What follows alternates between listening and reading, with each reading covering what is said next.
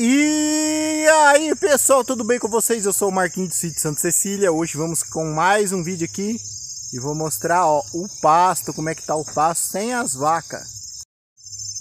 Aí pessoal, assim que tá o nosso pasto, né, os, os Tifton, aqui era onde as vacas ficavam para tirar leite, ó.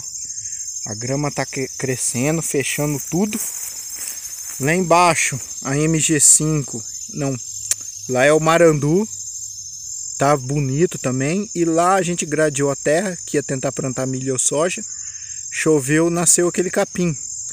Fosse a época que tinha as vacas, eu conseguiria manejar aquele capim, capim arroz, que as vacas pastar, dá leite pra caramba aqui lá.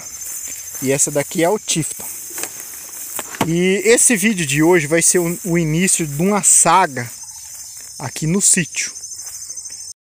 Eu vou falar aqui olhando para vocês, para vocês verem a minha cara carona larga de bolachão traquina. aí vendo o passo lá, ó.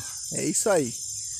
Então, pessoal, eu não desisti de criar vaca de leite, né? Como vocês sabem, é, o meu gosto, o meu sonho seria ser criador, selecionador de Gir Jersey, que são minha, as minhas raças preferidas, né?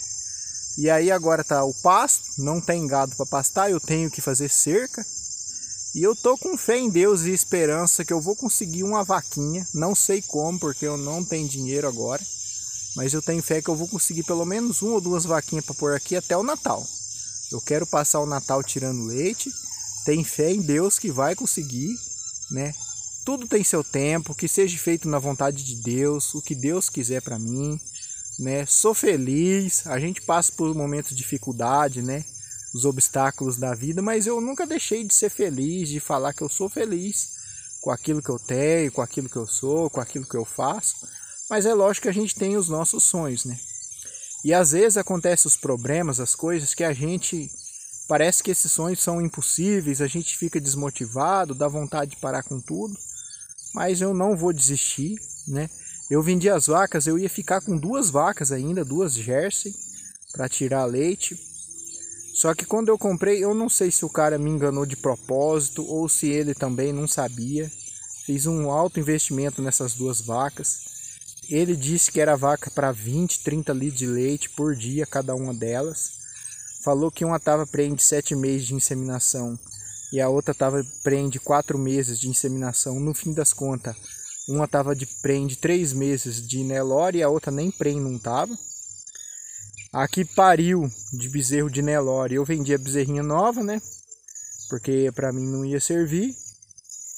E essa vaca ficou doente, a gente fez tratamento e pricou soro na veia e cortava capim, tratava dela na boca, fizemos de tudo, mas a vaca infelizmente acabou morrendo.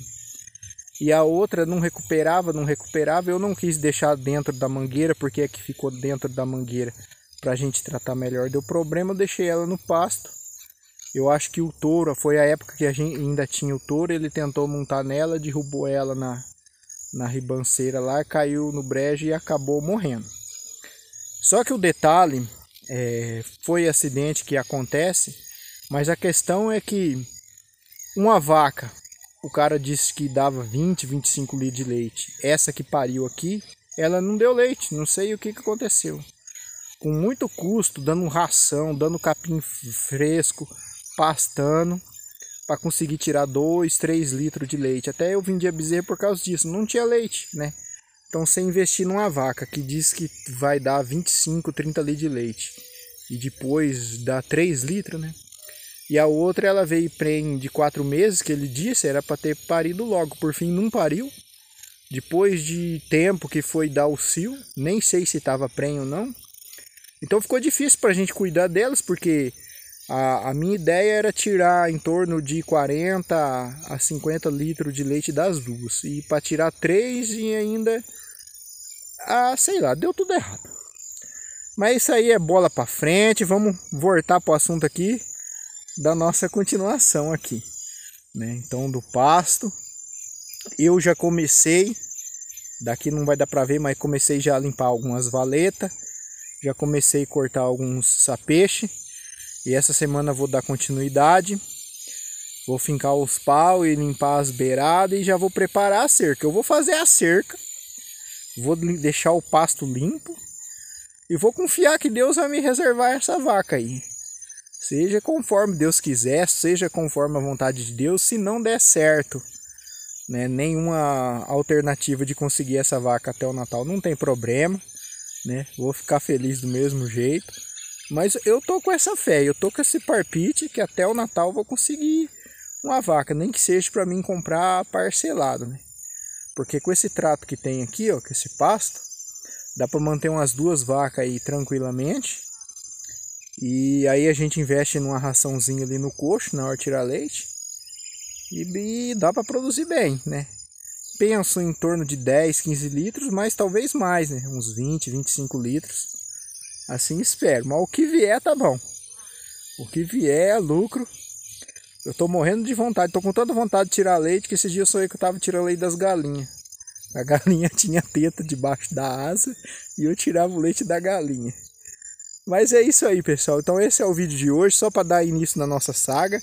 Hoje, dia 3 de dezembro de 2023. Vamos ver aí, conforme eu for arrumando as coisas, fazendo a cerca aqui, eu vou mostrando para vocês. E vamos aí ver aí se até o Natal eu consigo ter aí pelo menos uma vaquinha aí. Beleza, pessoal? Fiquem todos com Deus e até o próximo vídeo, se Deus quiser.